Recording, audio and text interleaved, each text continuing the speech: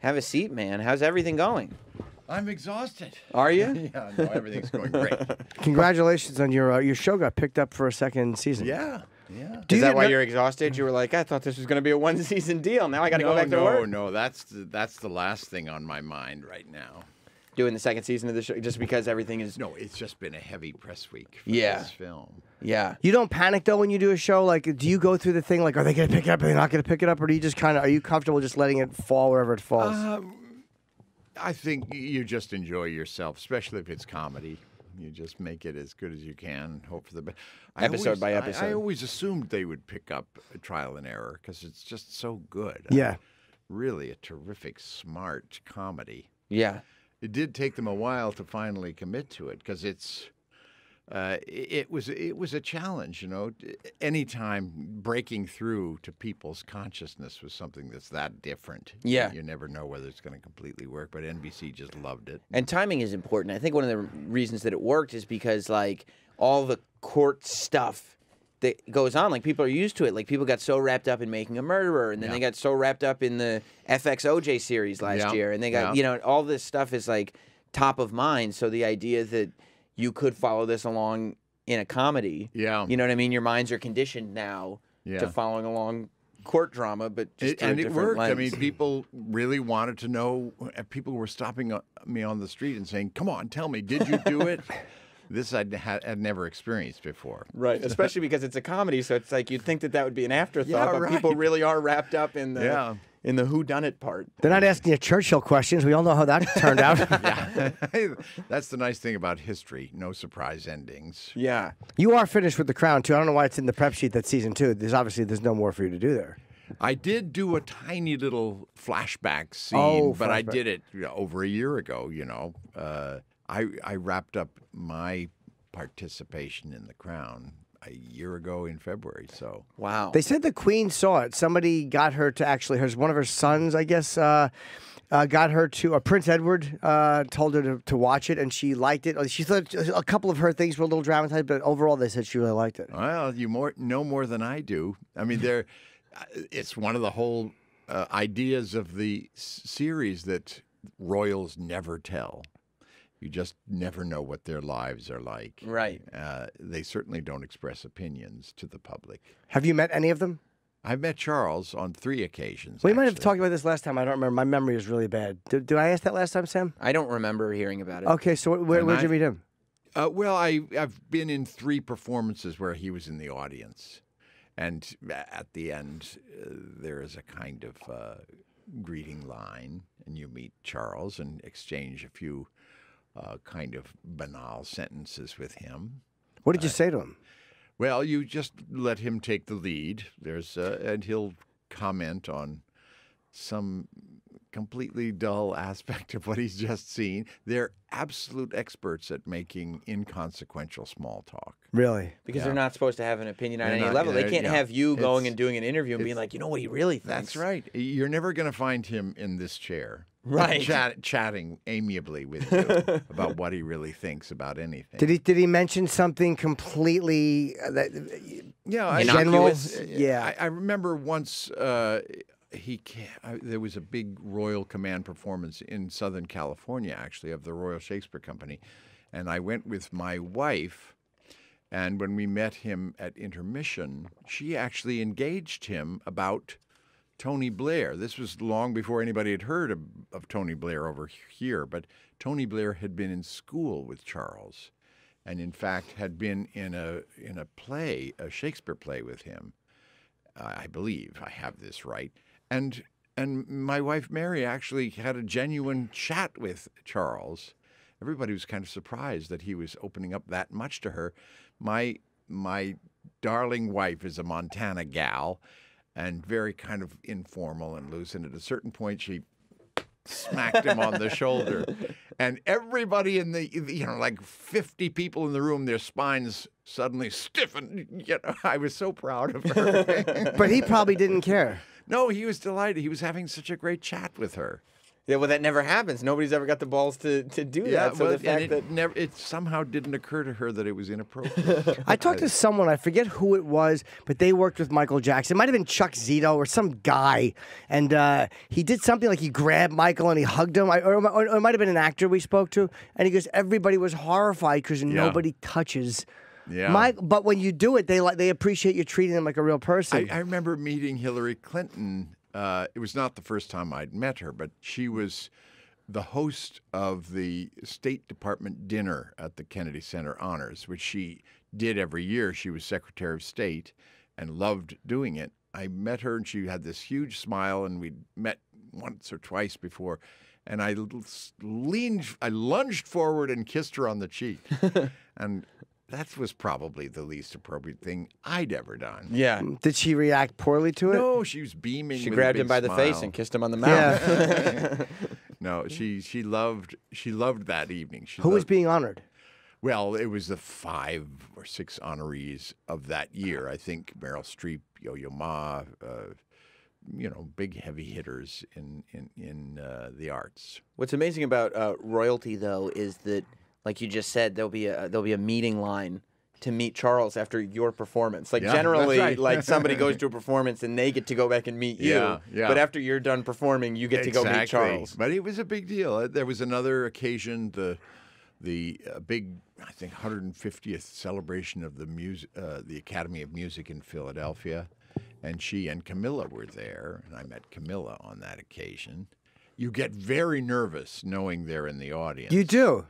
Uh, yeah, it's I, I don't know. It, it, it, somehow being conscious of anybody in the audience uh, makes it a, that just that little bit more uh, intense. But most performers won't admit that. Like you ask Yeah. a performer, they're like, "No, no, I just do." I was going to ask you if they were nervous. I didn't think you, but I'm glad well, to hear you that's say that you were. you know you- a lot of actors don't like to be told there's anybody in the audience. It's much de- e- easier dealing with an audience if it feels completely anonymous. I remember once I was in a, a play and a good friend of mine, an actor, Jonathan Pryce from England, was in the audience. Wasn't he in Glengarry Glen Ross?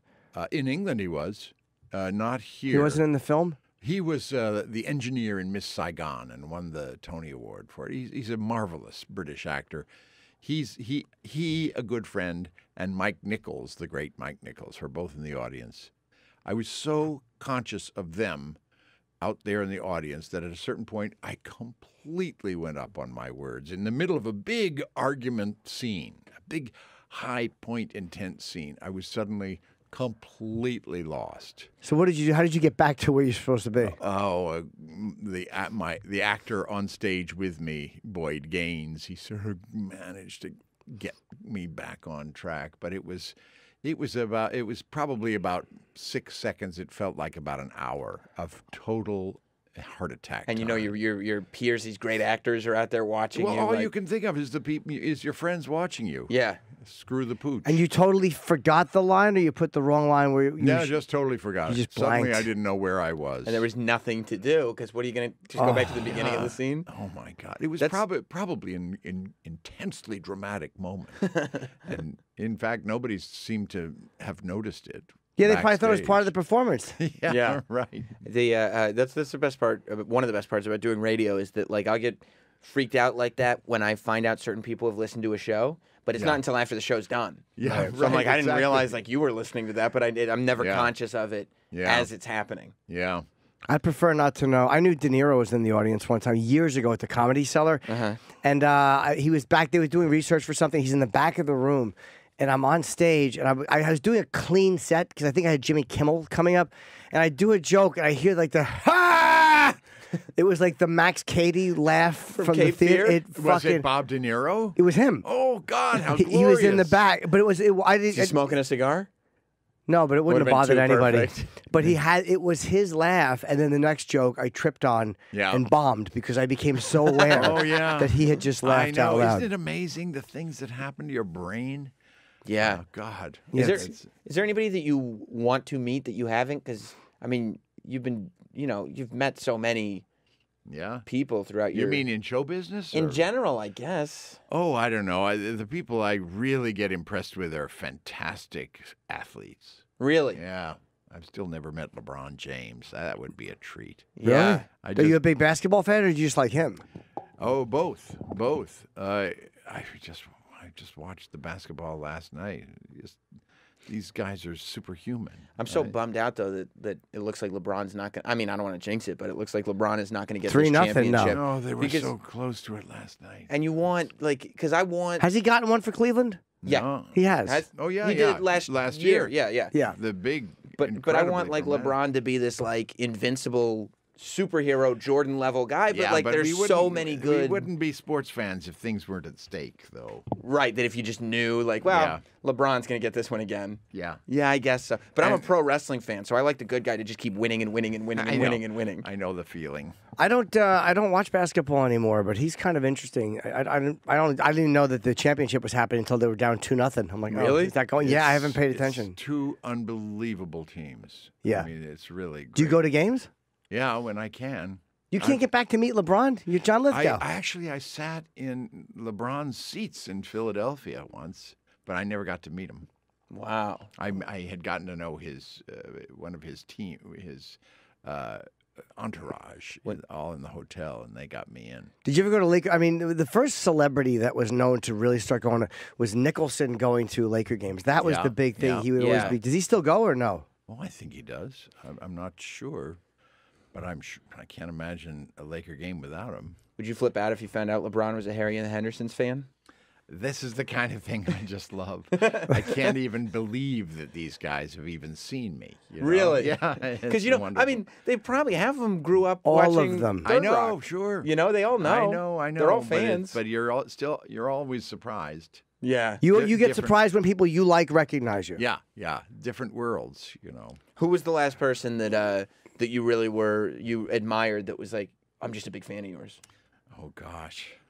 Uh, well, I guess Prince Charles. it's very somehow you don't don't picture people watching you. Right. Uh, I was told that Hillary and Bill were in a deep funk, quite understandably after the election. This and year. they holed up in Chappaqua and binge watched The Crown. I was, Really? I was found that very touching. Yeah, it, it, you you like knowing that people watch you. It's got to be odd, but on your, your level, I wouldn't think you're shocked by it. But it's kind of encouraging to know that you still get surprised by it. too. Yeah. Yeah, it's. Uh, I don't know. It's a funny thing throwing it out there. You, you, you, you're just you're in your own little world, or you're in a world with a bunch of other actors, and uh, it's kind of funny to. I mean, you must experience the same thing. There are thousands of people listening to you right now, if not millions, and you don't really think of them. It's just the three of us in a room talking. Especially on an uh, individual. You almost Right. think of like the audience as a group. Yeah. And then when you realize it's individual people who are like, No, I love the show and I listen every day and I'm a I'm a person who lives my life that way and you're like, Yeah. Oh my God. In, fact, if you do think about it, it sort of freezes you up. You're Yeah. sort of Yeah. Not, not yourself. When you go to like a party or, or there's thing, are, are you are you do you have access to everything you want? Like you when you, you know, I go to like a, a, a big. Uh, Place. There's always an area I can't get into. There's always like, oh, that's where I want to be, and I can't get in. They're like, No, no, you're the you're a pre party guy. you're not actually yeah. Yeah. I think absolutely everybody has that experience at some point. You know, do I really belong here?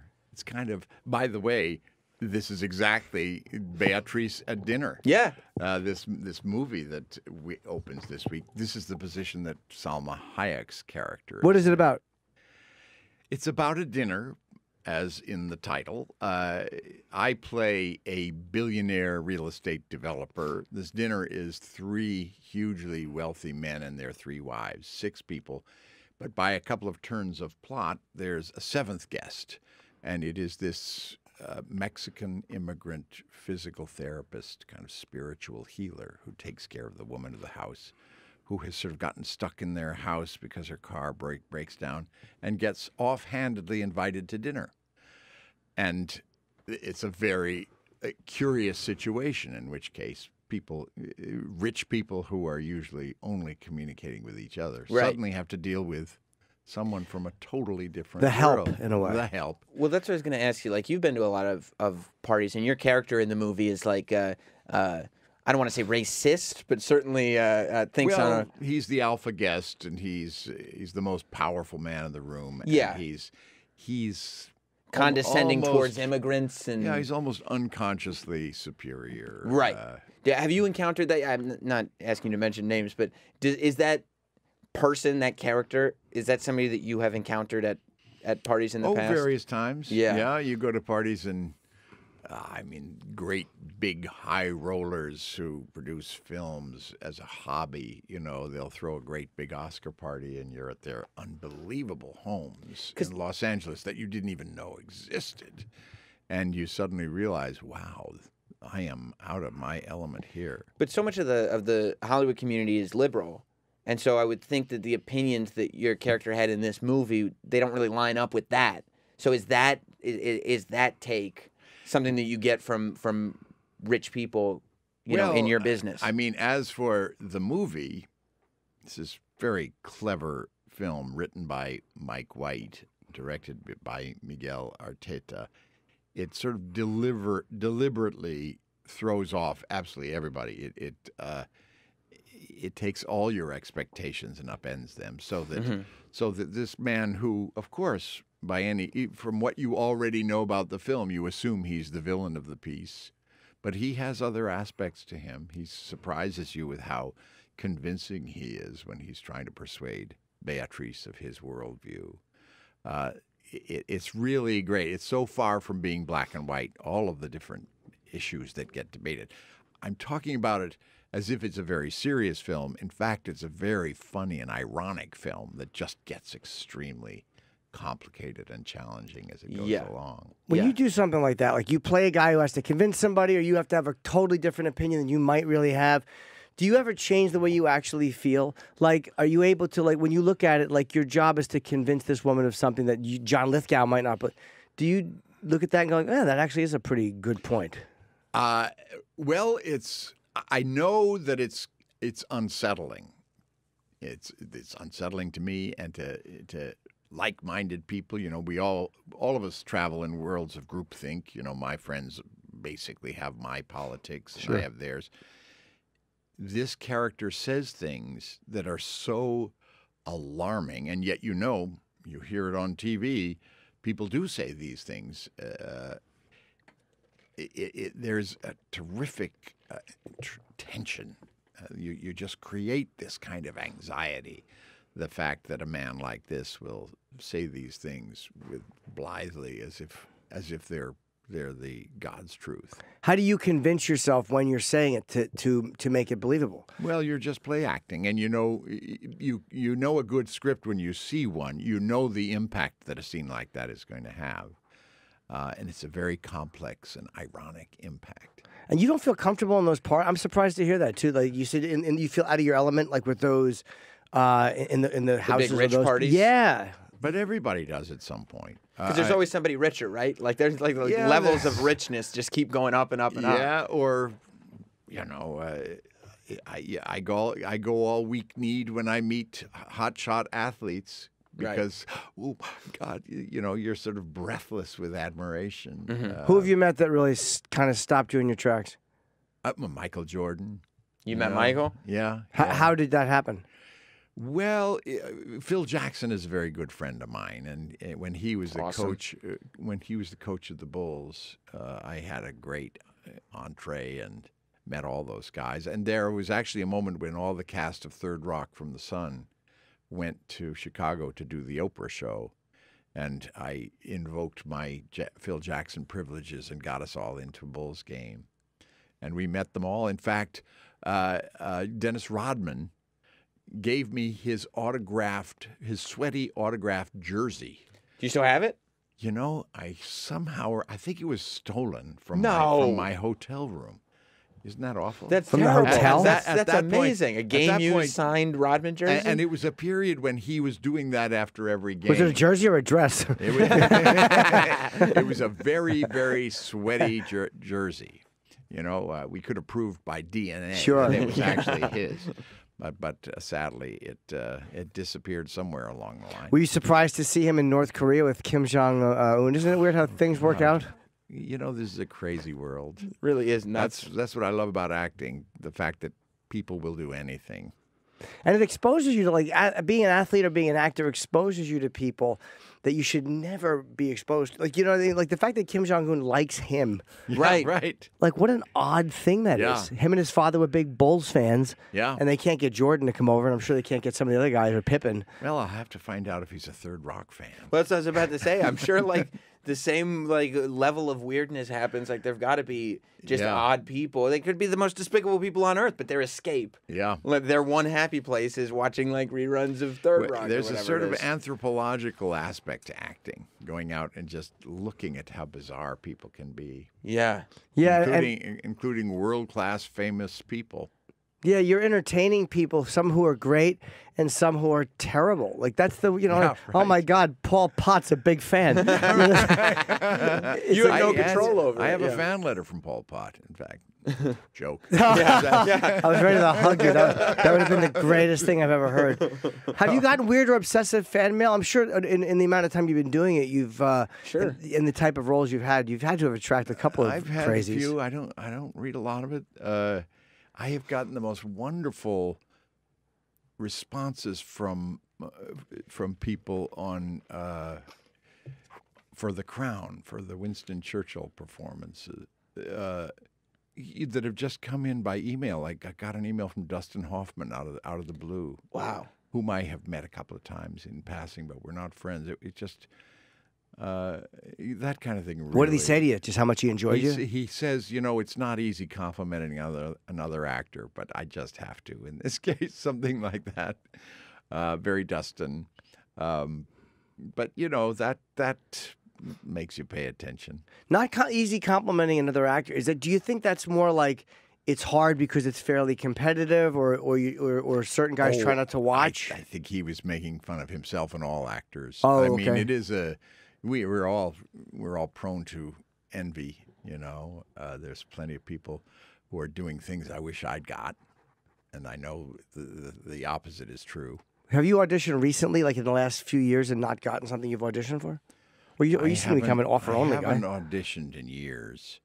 Uh, I'm lucky that way. Sometimes I actually I'm I have been offered jobs, and I've said, you know, let me come in and work with you on this. I, let's audition this for each other.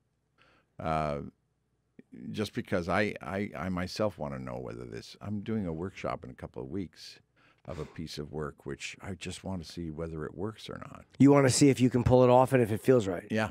Are, are there times where you'll go like, I don't think I can do this well? Uh, yeah. In those cases, I turn it down. Wow. But you know, uh, I have to say, some of the most interesting things that I've ever done, I mean, interesting for me and big breakthroughs from, for me, have been bright ideas other people had, which I never would have had for myself. Winston Churchill being one of them. Um, what, what, what was? Do you? That's not Somebody- something you would have seen yourself doing. No, no, I, it would have been uh, Who came to you and said this is really something you should uh, do? the director himself, D- uh, Stephen Daldry, who's a m- marvelous director. I'd always wanted to work with him. So it was like, well, if he believes in me and this job, uh, I'm certainly not going to say no. I was scared to death to do it, but I wasn't going to turn it down. When did you get comfortable with the role? Like, because I would as imagine soon first as I as soon as I started working with the makeup and costume people, you started they- to see what this is going to look yeah, like they- and feel like. Really helped me. And, Yeah. and also arriving in England and having all these English actors welcome me in like it was a great idea to have me play the part. That made an enormous difference. So it's like once you have all these people around, it's like, I, I, look, I might be wrong, but I don't think they're all wrong. yeah, Like, exactly. uh, it's like they had more confidence in me than I had in myself. yeah. Were you nervous about doing the accent?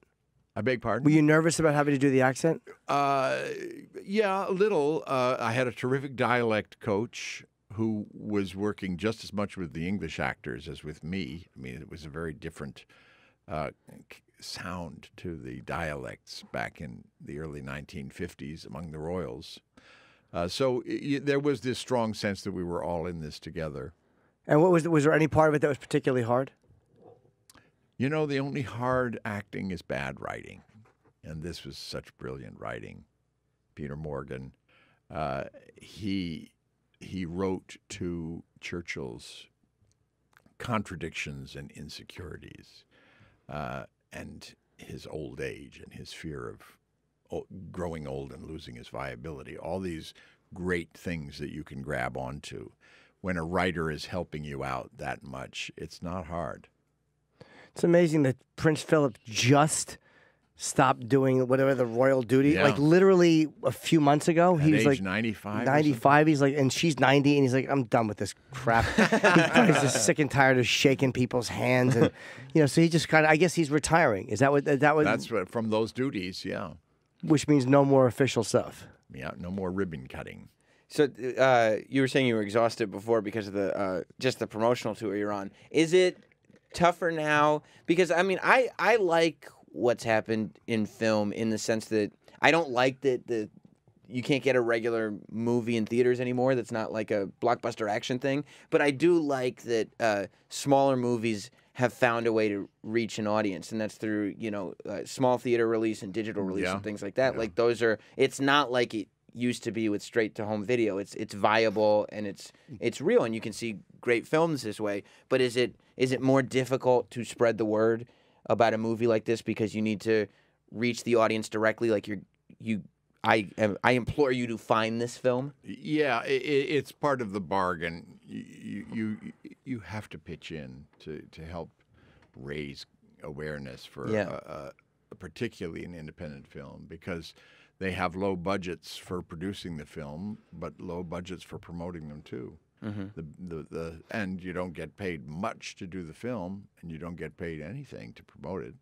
But you have a tremendous emotional investment, and especially a film like this, which is uh, so fine. You know, it's i i the industry is very interesting. You know, just watching the ebb and flow, the different trends. Studio filmmaking is the franchise business. My last two films were Pitch Perfect 3 and Daddy's Home 2, both out around Christmas time. Good, reliable, you know, sequels to hugely successful films. That's that's kind of the studio business, not to mention the comic book franchises. Which means that independent films are almost a different industry now. And yet they are esteemed even more. I mean, you don't see the franchise films nominated for Oscars except in technical areas. Right. None of the actors are given acting nominations. That that has gradually become the the purview of very small, independent, and for want of a better word, artistic films, Yeah. art films, films with real aspirations the same ap- aspiration a playwright has, putting a play on in off Broadway in New York. Uh, this and Beatriz at Dinner is just a perfect example of that. And it comes out tomorrow in select theaters. Uh, where where's the list of ways people can find this movie? Well, it's only in, in New York and L.A. for Okay. the first week, and then I think it goes much wider, uh, June sixteenth or something. Okay, you can, so you can Google it. and Yeah, find yeah, it, I'm look for sure. it and, and and it will come out digitally, I'm sure. And that's been that's become like one of my new favorite things to do is like iTunes or whatever it is will Yeah. pop up with these movies that Right. you've never heard of. You'll, and you'll see it before can you know find it. Uh, it's it's extraordinary the response we've gotten so far. As I say, it's hard for a little movie like this to break through. One thing that is very much in our favor is the current political situation. Right. Suddenly, you know, the movie was made long before this political sea change, but as soon as November came along, the film was all done, but it suddenly was a different film. yeah, it meant something else. Yeah. Well, I'm looking forward to it, and the way you've sold it sounds really interesting. I, I would I would like to see it. Well, we have a sec right before you go. Did you work with John Cena on Daddy's Home too? Oh yeah, How was he? he's a great guy Yeah. and a really good actor. yeah. I guess that's what wrestling does for you. Yeah. It turns you into a good actor. Daddy's Home 2 is going to be great. I will be back here to talk with you about that. Definitely Oh, come good. back and I'll ask you all my John Cena questions then. Yeah, yeah. Not I to was- mention Will Ferrell, Mark Wahlberg, and Mel Gibson. I mean, it's Wow. It's sensational. All right, we got a lot to talk about It's then. Yeah. sensationally. All right, we'll see you next time, and and, the, and it's called uh, Beatrice. Am I saying it right? Beatrice. Beatriz at dinner. But you're the only person who's pronounced it right, I did. just because I told you. Yeah, yeah, absolutely. Yes, I, I listened to you and I just repeated what you said immediately. I parroted it. Uh, it's in select theaters tomorrow in New York and L.A. and then June sixth it comes out uh, in, in wider release. And John Lithgow on uh, Twitter. Am I saying it wrong? Yeah, Lithgow, but Lithgow. it Yeah, I am saying it wrong. John Lithgow. And Um, you can pronounce it any way you like, except Kelsey Grammer. oh yeah, well you turn you turn that role down. oh well, let's not. Good go for there. you. Yeah. Good for you. Big problem with Kelsey and John. We'll talk about that next time too.